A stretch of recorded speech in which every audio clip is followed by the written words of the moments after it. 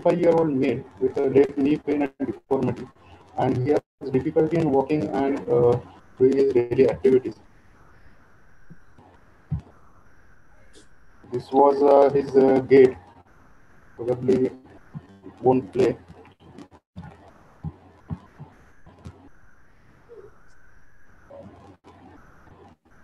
Yes. I think there is some So issue with the video, Sandeep. More go on the left side. Sorry, I didn't get it. Yeah, Sandeep, the video is the issue because the some two speakers also had the same issue. So just Yeah. move on. I'll- We, I'll- we understand. Yeah.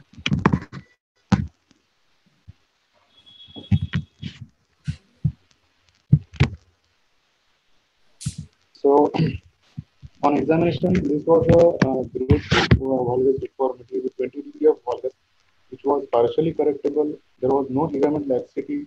Uh, is not a known case of rheumatoid, and the neurological known component was also excluded by examination. Now this is a scanogram. The tibiofemoral angle is to 20 degree, and uh, this was a partially correctable.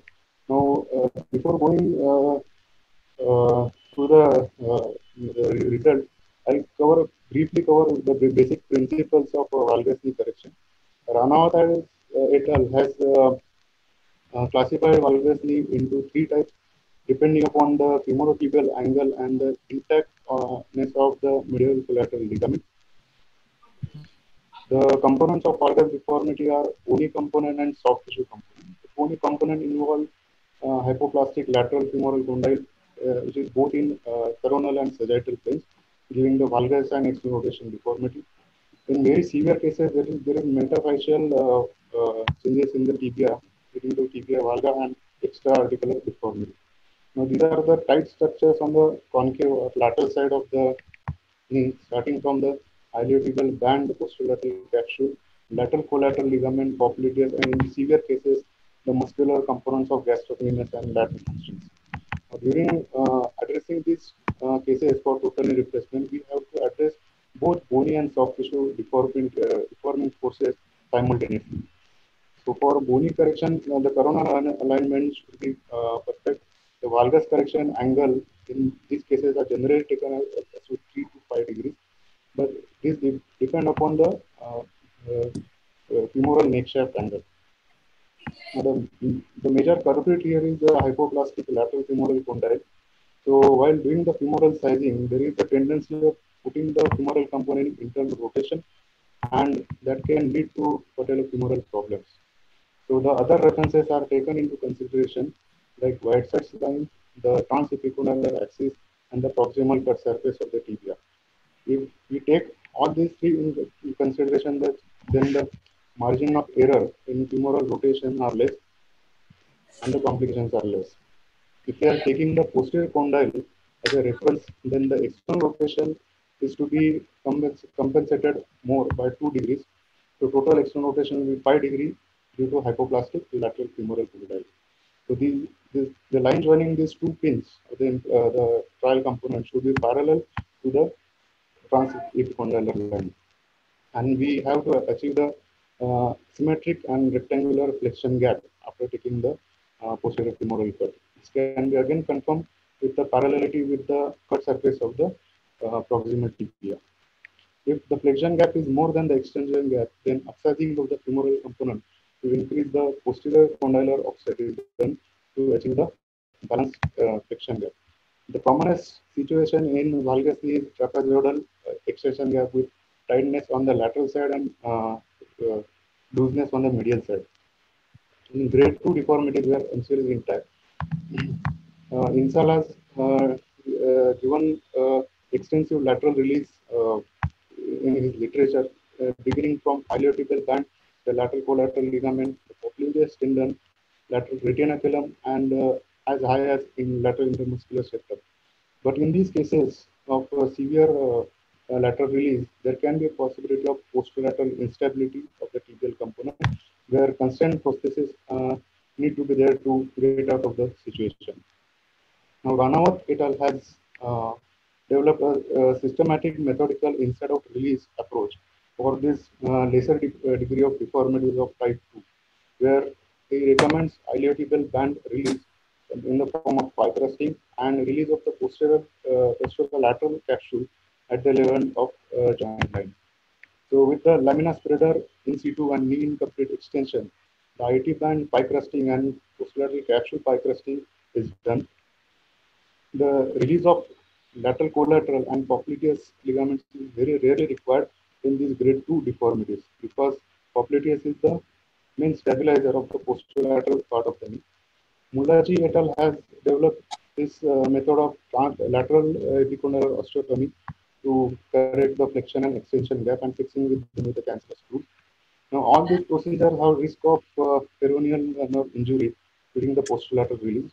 So there is this uh, triangle which is uh, bordered by posterior uh, border of IT band, the popliteus tendon, and, and, and the proximal surface of the tibia.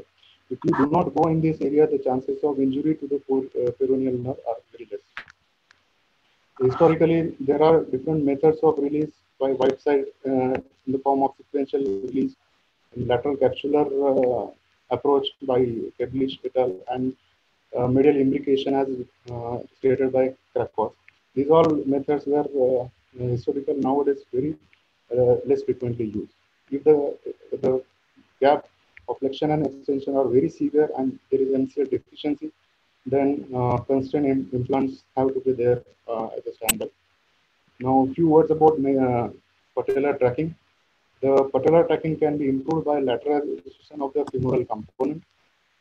The box cut should be uh, lateralized. For this, you, we need to use the posterior uh, it sacrificing implant so that we can adjust the box cut medial or lateral. And uh, medialize the patellar component so that it fits perfectly on the trochlea and uh, there are less chances of uh, patellar dislocation.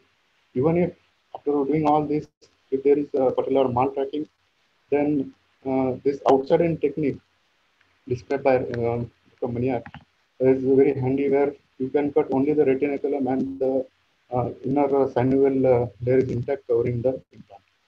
In larger TPL defects, uh, the augments and extension rods are always uh, preferable. Now, in our case, this was a type 2 valgus with uh, intact MCL and uh, partially correctable lateral side. So, uh, under anesthesia, the uh, correction was partial, partially correctable valgus. So, we had an approach of medial parapatellar arthrotomy with minimal medial resection and laterally uh, complete excision of lateral meniscus, osteophytes, and PCL was done. On knee dislocation, the lateral femoral condyle was hypoplastic as expected with contained uh, tibial defect. So the proximal tibial cut was taken perpendicular to the mechanical axis of the tibia. The slope given was 4 degrees that depends upon the implant uh, company which we are uh, using. The valgus correction angle in this case was, was 5 degrees with uh, distal femoral cut around 6 mm and this lateral condyle didn't cut much. Now again, following um, the basic principle of gap balancing, the tighter lateral structures in this asymmetric extension gap were released by in the form of iliotibial band crusting with 11 number of 15 number blade and uh, there was minimal need of uh, posterolateral capsular release in our case. So that's a pictorial presentation. So after achieving this com uh, completely symmetric and uh, um, balanced extension gap, which was equal to the flexion gap, the flexion uh, gap uh, was done with reference to these uh, three uh, lines, the Whiteside line, the epicondylar axis, and the proximal cut surface of the tibia. So the flexion gap was completely rectangular which was confirmed with the proximal cut surface of the tibia. Now here the tibial defect was small uh, to 5 mm after cutting the uh, proximal tibia. Sandeep, can yes, you sir? summarize because uh, we have this is the presentation. Right, right. So this was a post-operative X-ray. Uh, this is now uh, three years follow-up and uh, the post-operative range of motion is up to 110 degrees. The patient is walking comfortably. The second case is is of same uh, variety